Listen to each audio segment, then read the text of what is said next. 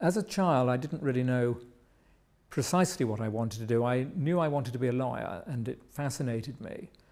Uh, but I wasn't sure which course I was going to take, whether I was going to become a barrister or a solicitor. Most of the time, I did want to be a barrister. I think being a solicitor has the connotation of working in an office, being surrounded by files, whereas the bar, court, advocacy, cross-examination certainly has, at least at first blush, the idea of a bit more fun. And I suspect, if I'm honest, that was something that appealed to me. Becoming a QC was a source of huge pleasure. I think if I'm proud of anything in my professional career, it's having uh, been appointed a QC and had a successful career as a QC.